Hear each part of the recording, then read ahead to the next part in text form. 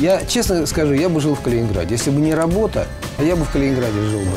Ирина и Олег познакомились в студенческие годы в родном Калининграде. Девушка училась на химическом факультете, а будущий певец был курсантом Высшего инженерного морского училища. Свадьба состоялась в 1975 году, хоть мама Газманова и была против этого союза. Сначала Зинаида Абрамовна считала, что ее сыну нужна другая жена. Однако через много лет Ирина станет для свекрови чуть ли не самым близким человеком.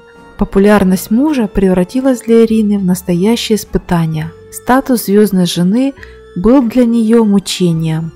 Друг семьи Александр Пачин рассказал, что постоянные звонки поклонниц, письма с угрозами, длительные гастроли мужа вызывали у женщины совсем не ревность, а хандру и усталость. Поженились молодые люди в 1975 году и прожили вместе 22 года.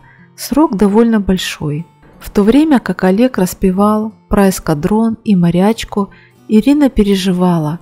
Повышенное внимание поклонниц, разъезды по гастролям, ненормированные графики, постоянный рост популярности супруга беспокоили ее – к тому же звездой стал не только муж, но и сын. В середине 1980-х песня «Люси», которую исполнял шестилетний Родион, оказалась всенародным хитом. Клип на композицию героини, которая стала домашняя собака Газмановых по кличке Корби, попал в эфир центрального телевидения, и голосистый сын Ирины стал считаться чуть ли не вундеркиндом – Родион выступал с отцом на концертах, и их совместный выход на сцену каждый раз сорвал овации. В это время Ирина делала все, чтобы повышенное внимание не вскружило ребенку голову. Она следила, чтобы сын занимался спортом, изучал иностранные языки и занимался в музыкальной школе. Последнюю, к слову сказать, Родион не окончил, а после того, как в подростковом возрасте у него стал ломаться голос, оставил занятия музыкой. Тем временем в личной жизни его родителей наступил окончательный разлад. Олег познакомился с Мариной Муравьевой, женой Вячеслава Мавроди. Когда в жизнь Олега Газманова ворвалась слава, с нею и деньги, и новые желания и возможности, тогда в его жизни появилась и новая женщина. Молодая и красивая Марина, ныне супруга Олега, младше его на 18 лет. Сначала певец пытался сохранить видимость семейной жизни с Ириной, а потом ушел к новой возлюбленной. Марина – жена фактически с декабря 1997 года, хотя зарегистрировали брак 15 июля 2003 года – Марина Анатольевна Муравьева-Газманова родилась 11 марта 1969 года, сейчас ей 54 года. К слову, самому Олегу Газманову уже 72 года. Газманов посвятил ей песни «Моя любовь, единственная моя».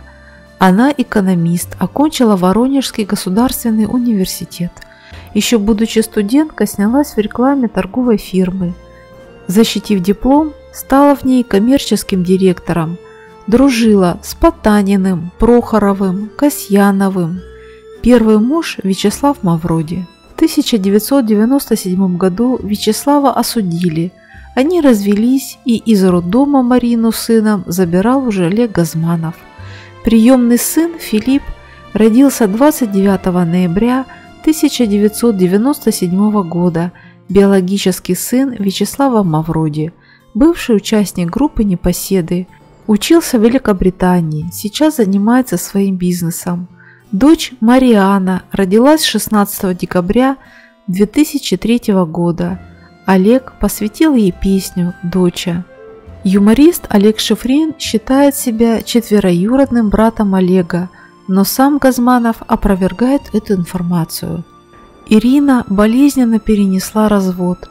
У нее наступила длительная депрессия. Уход мужа стал для Ирины ударом, от которого она не сразу оправилась. Несмотря на предательство мужа, женщина не опустилась до выноса семейного дела на публику. Во время замужества Ирина много лет нигде не работала. полностью отдала себя заботам о муже и сыне. Теперь оказалась в растерянности, не знала, как строить новую жизнь, замкнулась себе. 16-летний сын Родион остался с мамой, и она всю душу вложила в его воспитание. Первая семья певца материально ни в чем не нуждалась.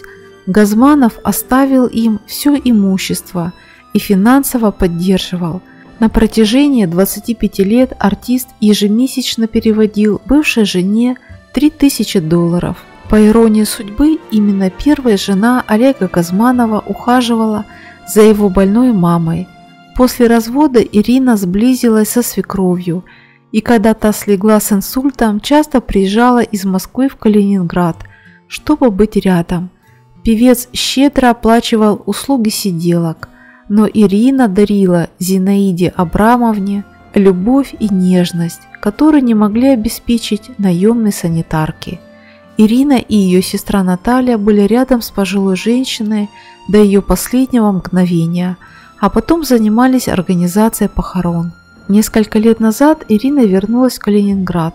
В родном городе первая жена Газманова купила дом – Родион ежегодно поздравляет маму с днем рождения и днем матери, но при этом публикует один и тот же снимок. Он отзывается об Ирине как о человеке, присутствие которого постоянно ощущает в своей судьбе. Мама безоговорочно поддерживает его во всех начинаниях.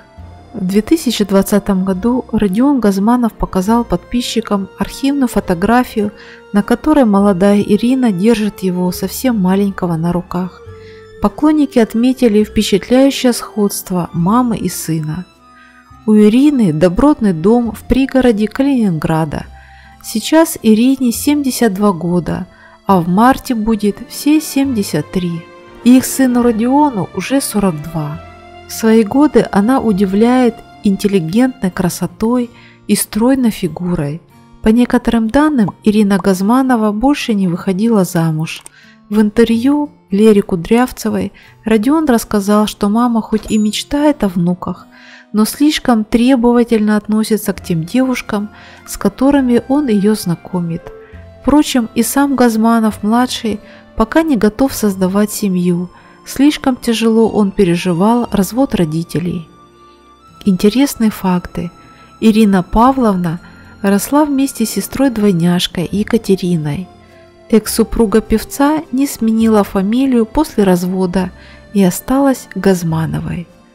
Пожелаем Ирине счастья и всего наилучшего.